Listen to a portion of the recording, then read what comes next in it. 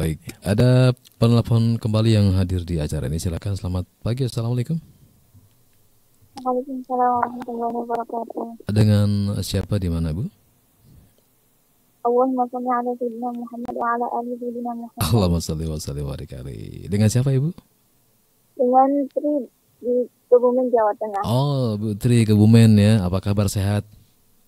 Alhamdulillah. iya, iya, iya. Silakan. Silakan Ibu Tri di Kebumen. Assalamualaikum dokter. Waalaikumsalam warahmatullahi wabarakatuh. Ya, Masya silakan. Allah, saya menanggapi perkataan dokter tadi. Zaman sekarang untuk hidup sehat perlu perjuangan ya dok ya.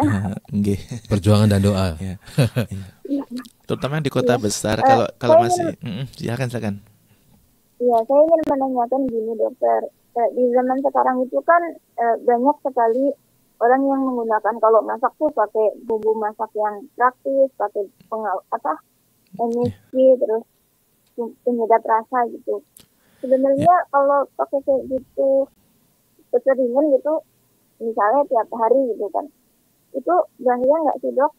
Dan kalau misalnya diperbolehkan, kalau misalnya eh, harus kita buat jarak gitu itu berapa jaraknya tuh berapa hari gitu soalnya kata bunyai saya kalau masak itu jangan sering-sering pakai emisi atau bumbu penyedap atau bumbu praktis katanya bikin jadi susah hafalan gitu dok Baik, baik.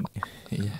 ya mungkin gitu aja dok Ya, baik. Terima Ya, kasih Ibu Tri. Assalamualaikum warahmatullahi wabarakatuh Waalaikumsalam warahmatullahi wabarakatuh. Eh, semua makanan itu eh, insya Allah sudah melalui eh, izin Dinas Kesehatan BPOM Badan Pengawas Obat dan Makanan.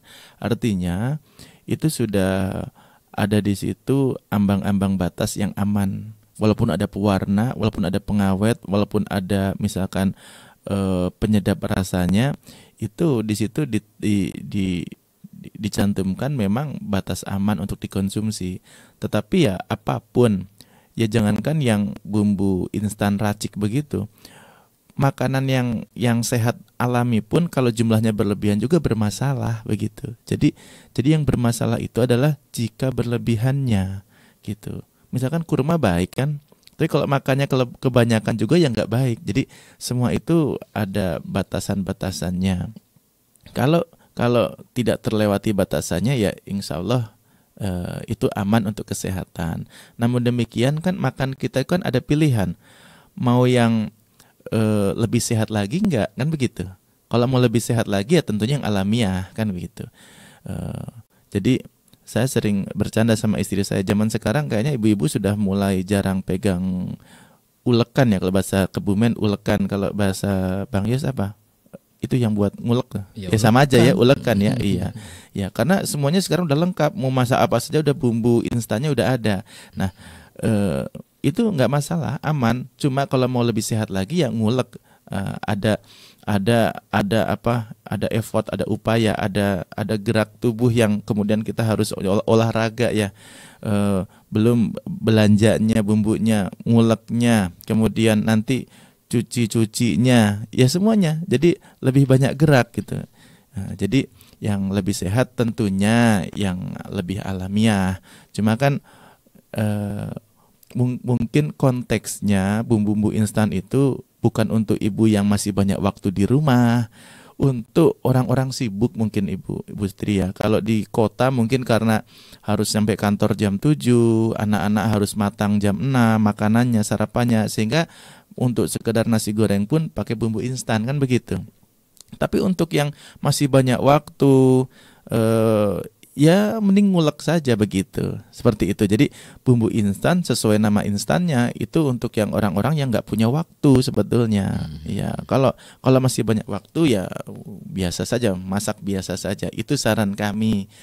Untuk eh, tadi pertanyaan eh, berapa jedanya antara eh, makan bumbu masak yang satu dengan bumbu masak yang lain, ya itu ten- tentunya itu tadi eh, kita proporsional saja kan. Tid- Tidak seharian kita makan lima kali dengan bumbu penyedap kan tidak. Eh, pagi a- ada mungkin ada bumbu yang ada penyedapnya. Siang kan ya kalau bisa yang terbaik kan beda lagi kan begitu.